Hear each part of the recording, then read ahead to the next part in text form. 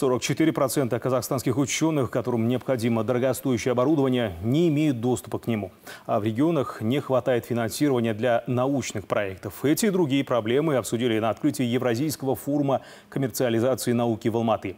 На съезде ученых и предпринимателей побывала Адель Акжаркенова.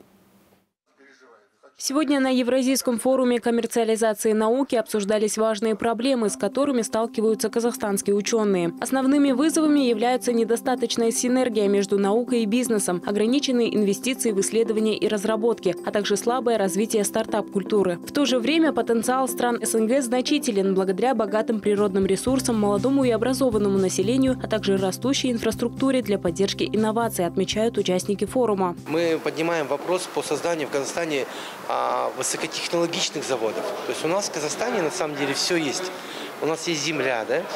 У нас есть ресурсы, вся таблица Менделеева. В принципе, мы сейчас можем новые пределы иметь амбиции. Казахстан должен на выход э, на экспорт новые цепочки добавленной стоимости. То есть создавать новые высокотехнологичные заводы, которые в целом будут экономические эффекты на конкурентоспособность нашей страны влиять. В качестве примера Санат Жолдыхан приводит опыт предприятия «Касцинк», которые раньше продавали микроэлемент селен в неочищенном виде за 10 долларов, а после инвестирования чистый продукт вырос в стоимости до 150 долларов. Такая оптимизация Реализация невозможна без финансирования и инвестиций, которых сейчас, по словам ученых, недостаточно. В Казахстане меры стимулирования и поддержки реализуются через программы содействия, акиматы, вузы и НИИ. Но есть и международные организации, готовые помочь в этом вопросе. Подают заявку на статус участника проекта. Заявка по двум направлениям. Инновационная составляющая, коммерческая составляющая. Если они совпадают, компания может стать участником проекта Сколково.